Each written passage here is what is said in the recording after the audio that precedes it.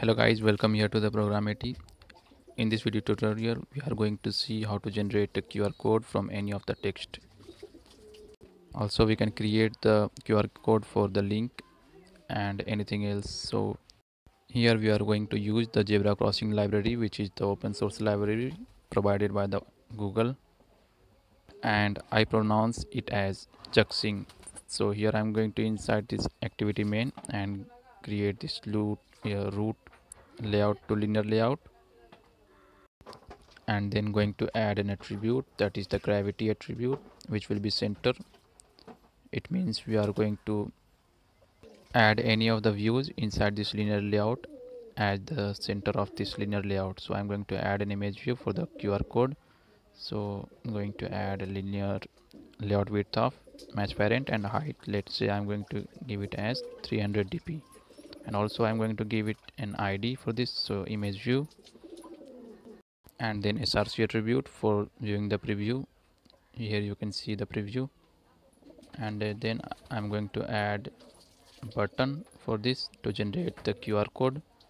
So match parent and height will be wrap content. And then ID will be let's say generate button and then we will be adding the text for this button. So i'm going to write it as generate qr code. So just write anything you want and then close this.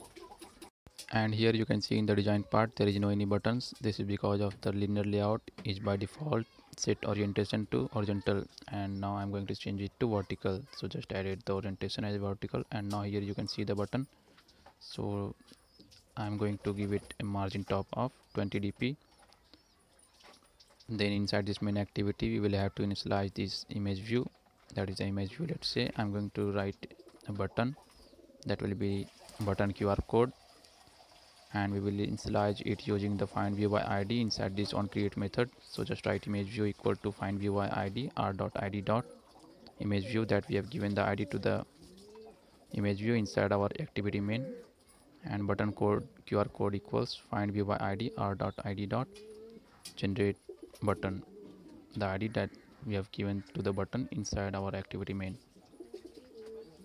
And here is the zebra crossing library. The link is given inside this description of the video. Here you can see the latest library is 3.4.1 zebra crossing core library. Then you just have to click on this jar link to download this jar files. And here you can see the jar file is downloaded now i'm going to just copy this and i will be pasting inside this project. So just go over here and click on this project and then just open this app.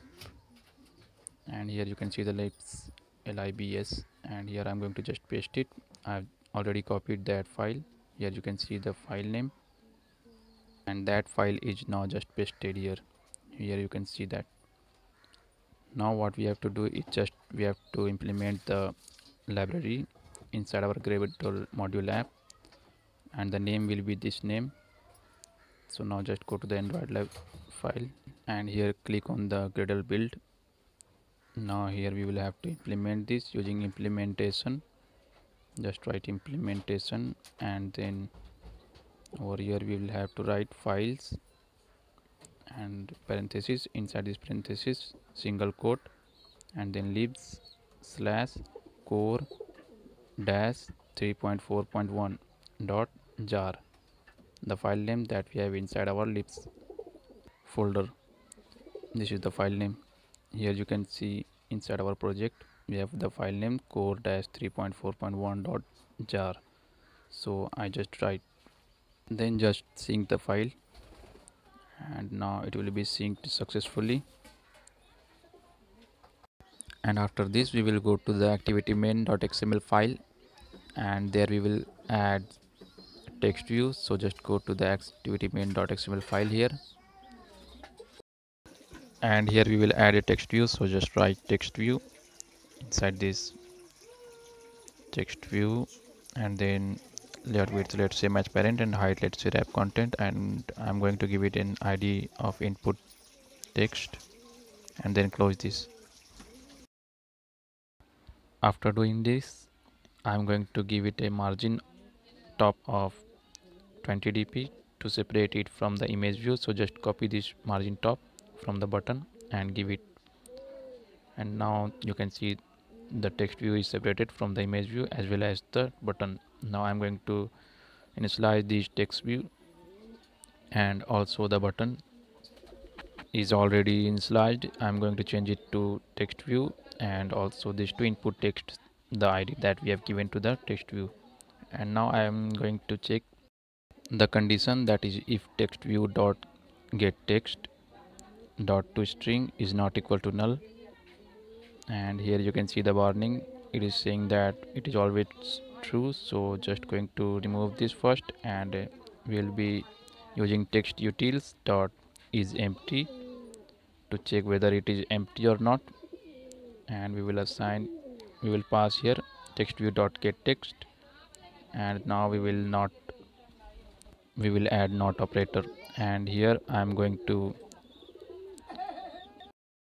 create a new string variable that is this text. And then the text that we have to pass in our method to get the desired QR code. So I'm going to get it as get text dot to string and then we will be creating a bitmap QR code and we have a custom method that we will be creating after adding an argument that is the text. Means we are passing the text as a string value. So now you can see this create method inside this main activity and just leave it everything as it is. Now return null. We will change it later from the bitmap so now we will create a bit matrix result. The bit matrix class is inside our libs that we have added that is the zebra cross library. And after this we will be having a try block. And inside this try block we will initialize the result with the help of new multi-format writer dot encode and then pass the string value that is the text for which we are going to generate the QR code. And after this we will be adding a barcode format dot QR code. Here you can see this QR code.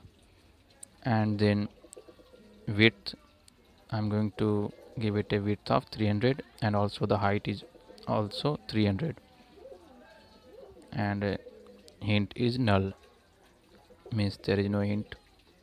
And here you can see this add catch block and resolve this error. And now we will create two variables integer variables that is the width and the height. So just write it width equals result dot get.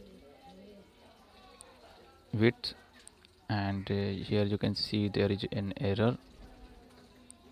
Int height equals result dot get height and now we have to resolve this error. Just alt enter. And here you can see the suggestions.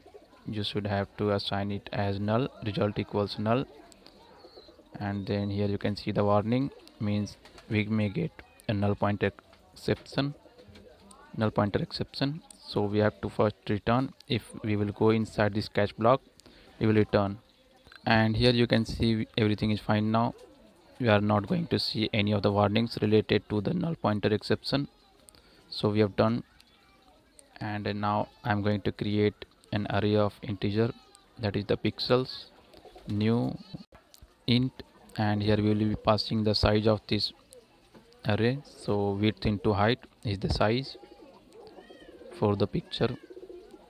And then we will initialize a for loop for x equals 0 x is less than height and x plus plus. This is the simple for loop and inside this for loop we have an integer variable that is offset and we will initialize it using the x into width that we have created above. And here again we are going to start a for loop. Int k equals 0 and k is less than width and uh, k plus plus. Here you have to change this to width to resolve the error and then k plus plus. And inside this for loop we will initialize we will put the values inside the pixel at the position offset means the index offset plus k.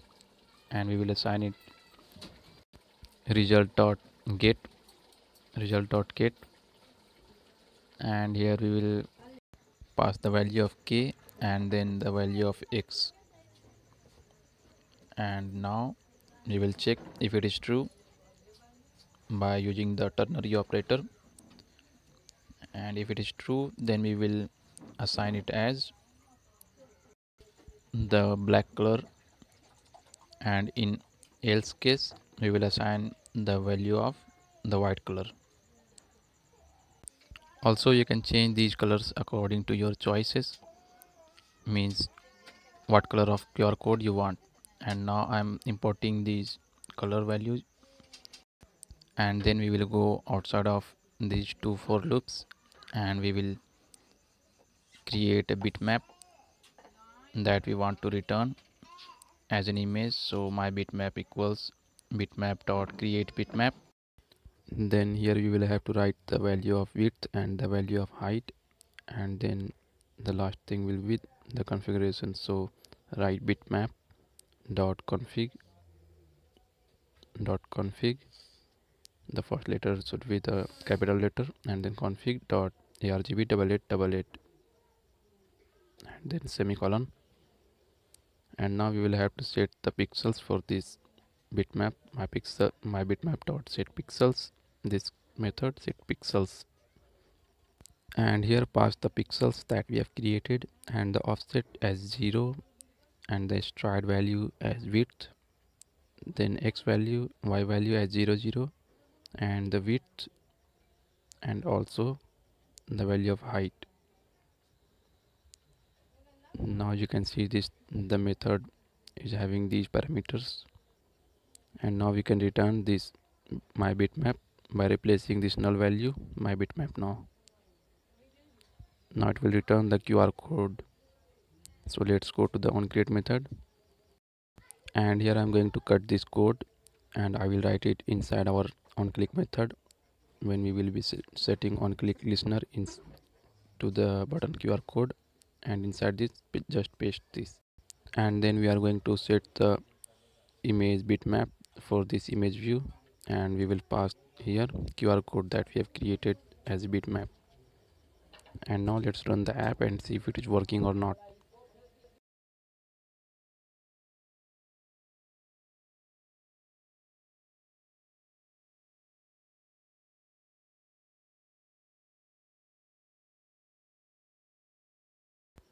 Now here you can see the app is running now and but here we have not set any of the text over here in the text view. So first I'm going to change it to the edit text. From where we will be taking the input and then we will generate the QR code according to that input. So just change this to edit text first. And now come inside this main activity and also change this to edit text. And now let's run the app. Inside this edit text whatever input you will provide you will get the result according to that input in the QR code. So just wait for the installation.